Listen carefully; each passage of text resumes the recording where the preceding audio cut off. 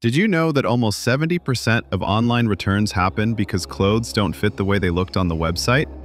A new app from Google Labs called Doppl aims to reduce that problem by showing how outfits look on a real body. What exactly is Doppl?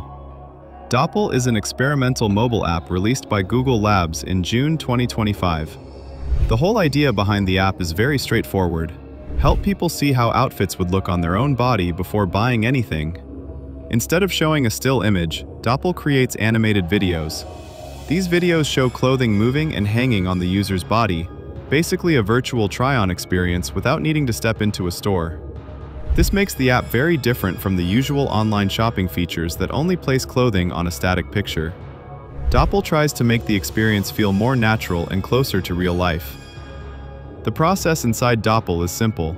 A high-quality full-body photo is uploaded first, then, an outfit is selected from any source, Pinterest, Instagram, online stores, or personal photos.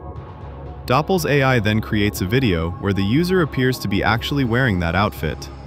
It even shows basic fabric movement, folds, and how clothes fall on the body. A quick question here. What's the biggest issue faced during online shopping? Wrong color, wrong size, or wrong fit? Most people say fit, which is exactly why Doppl became an interesting experiment from Google.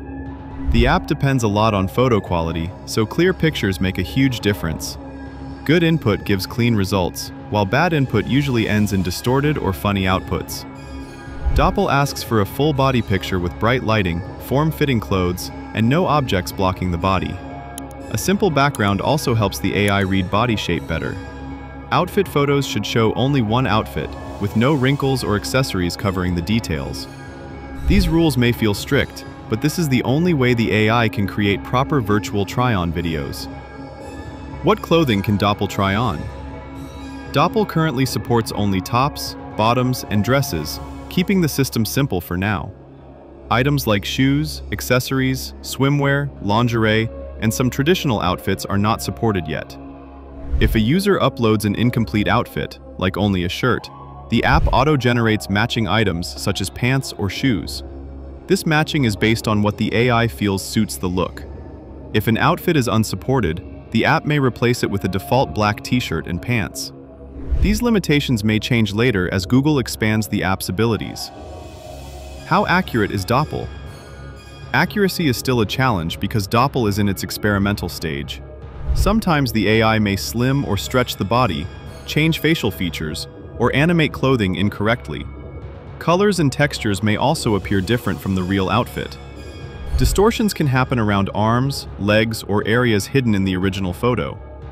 The AI even guesses missing details, like legs when switching from pants to a dress. These issues show that Doppl is improving, but perfect accuracy will take more time. In December 2025, Google added the shoppable discovery feed, turning Doppl into a mini shopping platform. The feed shows AI-generated videos of real fashion items with direct purchase links. It also suggests outfits based on the user's style and browsing habits. The more someone interacts, the better Doppl understands their fashion preference. It feels similar to scrolling TikTok or Instagram Reels, but with fully AI-built outfit content. This shifted Doppl from just a try-on tool to a fashion discovery experience. Each user has a monthly generation limit, which controls how many try-on videos can be created. Google hasn't shared exact numbers, but limits reset automatically every month. During high traffic times, requests may be restricted to keep the app running smoothly. Some users might find this frustrating, but these limits prevent server overload. It also helps Google manage processing power for millions of generated videos. These rules may change later as Doppl becomes more stable, Doppl uses computer vision to read the body shape, posture, and clothing edges in the uploaded photo. It also uses diffusion-based garment warping, which shapes and animates the outfit to match the body. The final output becomes a blend of the real body, the selected outfit, and smooth AI-generated motion. Every video includes an invisible SynthID watermark, making it easy to identify AI-generated content. This watermark is hidden but protects against misuse. These technologies make Doppl's animations look more natural than normal try-on tools. Since Doppl uses full-body photos, privacy becomes very important. Google stores uploaded photos and generated videos unless the user manually deletes them. Deleted items may still stay on servers for up to 30 days for processing. Before any human reviewer checks an image, personal account details are removed. Users can adjust data settings, disable improvement options, or export their data anytime. Reviewed and annotated data stays with Google for research, even after deletion. Checking the privacy settings first is helpful for anyone concerned about data use. Right now, Doppl is available only in the United States on both iOS and Android. Users must be at least 18 years old and logged into a Google account to use it. There are hints about future global expansion, but nothing confirmed yet. Google may also introduce paid plans or premium features in the future.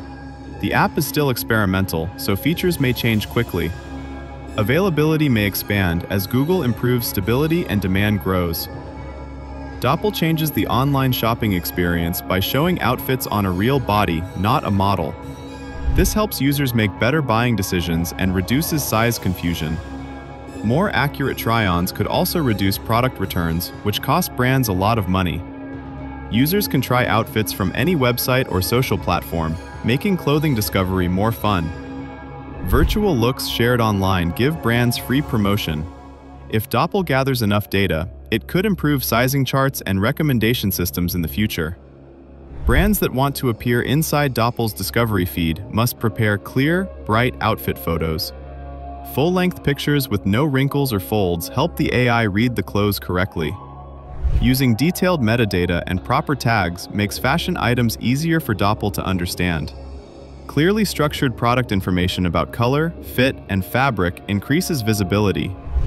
Clean backgrounds and forward-facing outfits also improve recognition. Following these steps helps brands appear naturally in AI-generated suggestions. Google is working on features like better body modeling and more accurate clothing measurements. More natural fabric movement and support for extra clothing categories are also expected. Users may get more pose options in generated videos soon. Seamless integration with online stores might create a smoother shopping experience. Paid plans or premium usage tiers may also arrive later. Some users hope for virtual closets or daily outfit suggestions, which Google may explore. Google Shopping Try-On shows static images and works only with selected retailers. Doppl, on the other hand, creates animated videos and accepts outfits from anywhere online.